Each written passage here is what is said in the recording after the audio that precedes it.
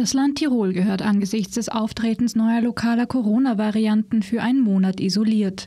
Diese Meinung vertritt die Virologin Dorothee van Leer von der Med-Uni Innsbruck. Gleichzeitig übt die Beraterin der Bundesregierung scharfe Kritik am Land Tirol im Umgang mit den Corona-Mutanten und warnt vor einem zweiten Ischgl.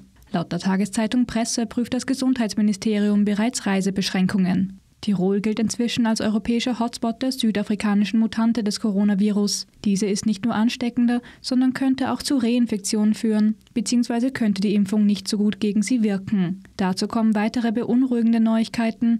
Laut von Lea sind zumindest zwei bis drei eigenständige Tiroler Mutationen der südafrikanischen Variante aufgetreten. Welche Eigenschaften diese haben, weiß man aber noch nicht. Auch im Gesundheitsministerium ist man besorgt und schließt Reisebeschränkungen nicht aus. Derzeit werden die Verdachtsproben aus Tirol ausgewertet. Sobald diese Ergebnisse vorliegen, werden wir mit dem Land Tirol auf Basis dieser Ergebnisse sofort das Gespräch über weitere notwendige Maßnahmen zur Eingrenzung führen. Eine möglichst breite Testung in der betroffenen Region ist der erste Schritt dazu, heißt es auf Nachfrage. Binnen 48 Stunden werde man mehr wissen. Geht es nach ihr, müssten drastische Maßnahmen ergriffen werden, über die von der Taskforce beraten werden müsste. Aber ich bin der Meinung, man müsste Tirol für einen Monat isolieren, vom Rest von Österreich und dem Ausland. In Tirol hat am Mittwoch die Ausbreitung der südafrikanischen Variante des Coronavirus die Behörden intensiv beschäftigt. Laut Landeshauptmann Günther Platter von der ÖVP konnte man bisher aber keine exponentielle Ausbreitung der Mutationen feststellen. Die Corona-Zahlen seien außerdem konstant.